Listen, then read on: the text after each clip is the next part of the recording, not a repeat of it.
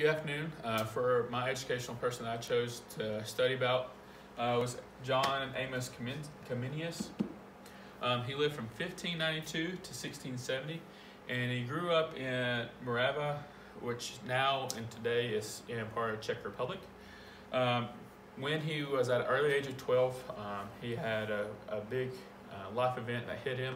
Uh, his parents passed away, um, but luckily he was able to go live with his aunt and attend two different universities. Uh, after graduating them two universities, he came back home and he was ordained in the Brethren Church, um, become a pastor. After he was a pastor for a couple years, um, he was able to move up to become a bishop in the local church.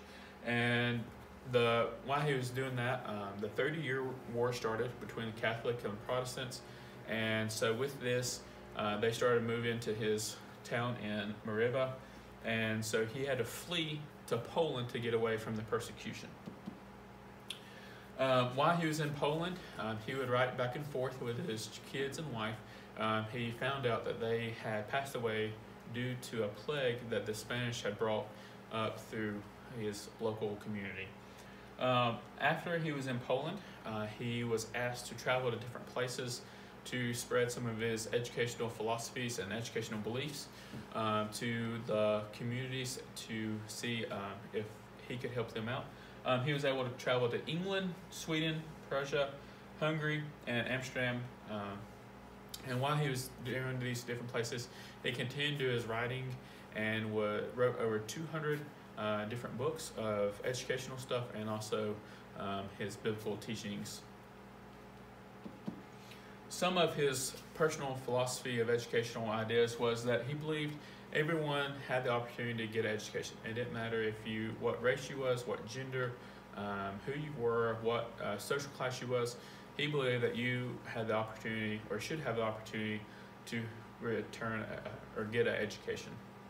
He thought through education, um, it could reform the society by teaching the kids at early age what actual truth was, uh, how to know truth, and how to gain knowledge.